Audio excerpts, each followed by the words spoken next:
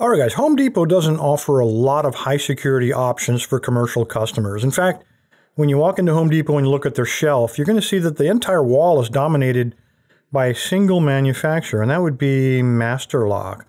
Uh, this is the most popular lock that they sell. Now, a lot of you recognize this as a number three, but oh no, this is the one designed specifically for commercial customers. Not because it's any higher level security, but because it says commercial right there on the bumper. And that is the only concession Master Lock made to commercial customers until today. Guys, things are getting ready to change. And the way I know that is that both the lockpicking lawyer and I just received a package of very specialized locks, locks that have been designed for one specific use in the commercial job market. And this is the first one that I'd like to talk about. Now, on the front of the package, I mean, it looks like a normal padlock, but on the front of the package, you notice it says engineered for job boxes and tool chests. And you might ask yourself, well, what makes it designed just for that? And I questioned that myself. And then I started looking at this and comparing it to some other padlocks. And there were some things that kind of jumped out at me. First of all, you'll notice that the, this is not rounded on it. None of these are beveled. I mean, it's not a sharp edge, but they're not normally they're not, they're normally rounded. Not in this case. And I, I, had to ask why. And then I took the measurements of this lock. And what I found is that this fits very tightly inside of the Lock Labs job box. And I'll show you that in a minute. I'll do a cutaway and show you how well this thing fits inside of there. It fits so well, in fact, that there's no longer a gap. If we were using a smaller lock, there would be a much larger gap inside of the chamber, which would allow us to stick in a crowbar and perhaps get some leverage on the lock and put some stress on the shackle. Now, previously the shackle wasn't very large around, but when you compare it to this new one, and again, taking the measurements on this guy, he's just barely able to fit inside of the job box opening. Any larger and he wouldn't fit, any smaller and you get a much lower level of resistance to a prying attack. So they made this absolutely as large as they could, and of course it's a hardened shackle as well. Um, when we take a look, again, looking at the packaging here, we have, and when you look through that, I think you can see that there are six pins on that lock, as opposed to four pins that we've seen previously. Well, more pins means it's going to be much more difficult to pick. In addition, if you read the packaging, this contains security pins, whereas our previous options had 0% security pins. Very easy to rake open. This one, probably not going to be that way. We've picked Paclocks before, and I got to say, they're pretty tough locks. The other thing that we have here with additional number of pins, six in this case, we have a larger number of combinations, and so now we get a new guarantee from Paclock. And that guarantee is that they call it the no key interchange which means there are not going to be any duplicates. And if we look at the number of pins, we know how many cuts on each pin. That tells me right away we can have up to 280,000 different keys before you need to cut your first duplicate. That clearly doesn't hold true when you only have four pins and a lower number of cuts. So great advantage there. When we take a look at the bottom of the lock, we notice a couple of things here.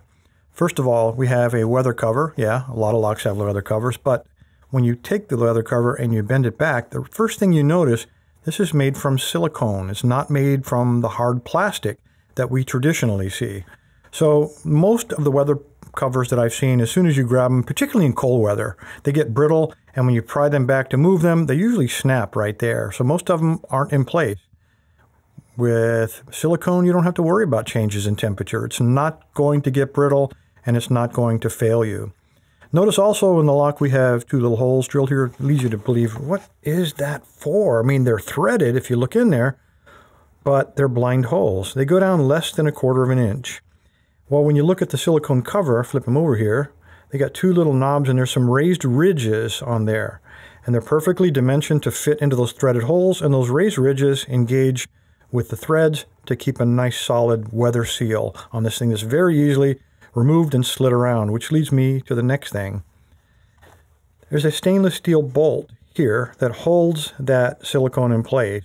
And beneath it, if you look closely, there is a wear washer, which allows it to basically a, a bearing that allows you to slide that thing. So not only will it not snap, it also doesn't snag and tear when you try to move it out of your way so you can get your key inside of there. So very, very cool idea on that.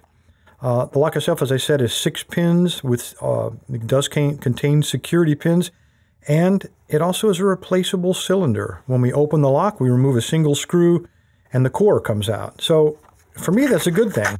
My job box actually requires two locks, so I could buy two of these, but they would have different keys. I could remove the core and I could rekey it so they have identical keys.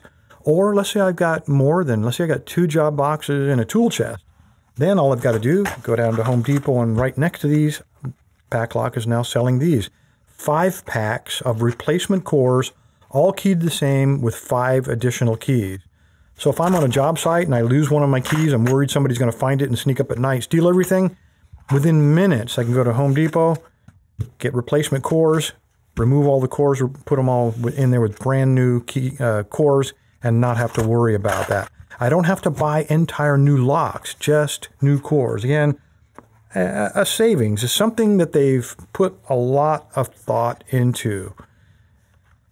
So what's it going to cost? I wish I could answer that question, but because it's so new, hopefully by the time you see this video, you'll be able to go to the Home Depot website. It, it without a doubt, with every all the work and engineering they put into that, all the all the details, the additional security, it's a premium product. It's probably going to cost a lot more, but eh, guys, you get what you pay for in security, just like everything else. And if you're securing $20,000 worth of tool in a tool chest or in a job box, it might be worth investing a little bit more money into the security.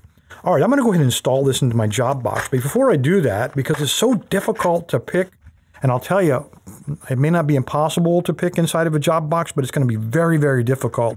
Instead, let me find a tensioner. I'm going to pick it by hand and remove it from the packaging. I'll install a job box and show you what it looks like once it's installed. So let me find a tensioner and we'll hop to it. All right, before we jump onto the new standard, I thought it'd be interesting to very quickly pick the old standard, kind of give us a baseline to, to compare the two of them. So this is a standard, the commercial lock I showed you earlier. It is locked. Take my pick, slide them in, and we all know how this works, right? Apply a little tension and then just drag it out. And usually that works pretty quick. If not, there, it worked quick enough. I didn't measure the time on that, but it wasn't very long. Let's see how long it takes to get into this guy. He's got two additional pins. He's got security pins. And it's probably a little bit better tolerance on the lock. Um, I'm going to use top of the keyway on this one because I can. Fits in there very nicely. Try to hold him, I guess, like that. And since I got a premium lock, I'm going to use a premium pick. This is my Ratyac medium hook. And he's coming back from Taiwan very soon, guys. You're interested in getting one of these, he'll be home soon. All right, I have light tension. I'm trying to find a binding pin. Uh, feels like pin, is that pin one? Okay, I got a nice click and I have a false set now. That was pin 3. That was pin 4. That was 6. Very deep false set now.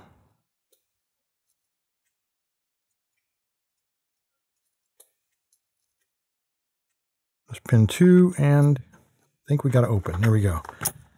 All right, now bear in mind, this is in the optimal conditions. I did this on my desktop in the comfort of the lab, and no weather. everything was exposed. I, I could easily get a tensioner up inside of this lock. So my life was much, much easier than if this had been installed uh, on a job box out in the wild. Let me go and install it and give you an idea of how constrained your working area is going to be when this is installed on a job box. All right, I got this thing installed on the Lock Labs job box, and I, I, think you'll agree that it fills up this opening much better than its predecessor, that Master Lock, leaving a lot less room for someone to put a pry bar, pry bar and get any kind of leverage on that lock. Also, the shackle on this, you see how I move this, it barely moves. It is literally pinched in there to prevent it from moving around. Really well thought out. If it had been a fraction of a millimeter larger, it would not have fit in that lockdown bracket.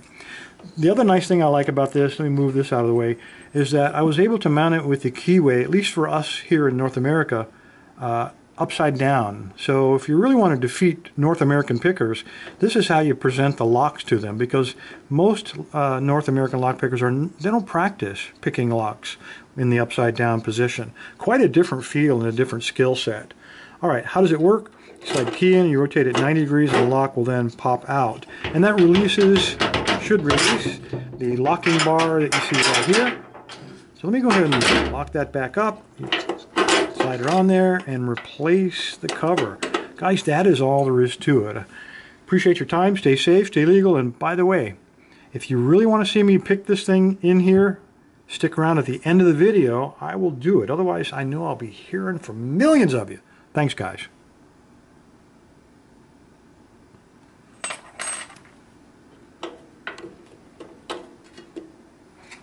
All right, I'm going to use the long end of this tensioner. Slide it on there. And just hold on to it like that. And I'll use the same pick. And get the right angle. Here we go.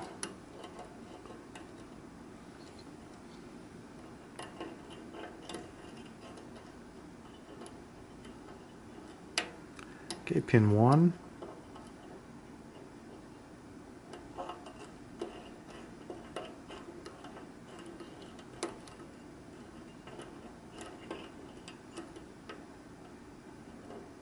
Where are you? You for me.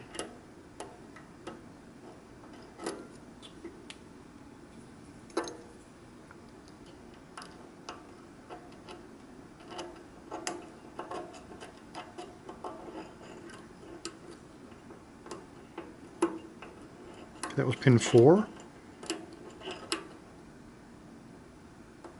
I'm getting counter rotation on pin two. Come on. So here's a spool.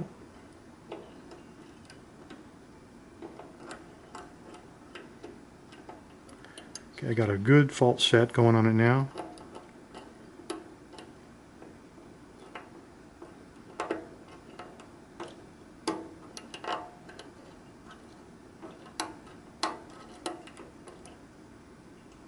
Counter rotation on five. And.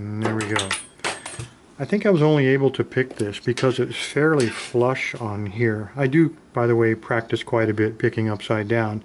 But if it had been inset a little bit more, I don't think you would have been able to get your tension wrench up the side of there. Anyway, we do have an open. Uh, no, we don't. Man, we got to pick the one on the other side now. There you go, guys. Thanks.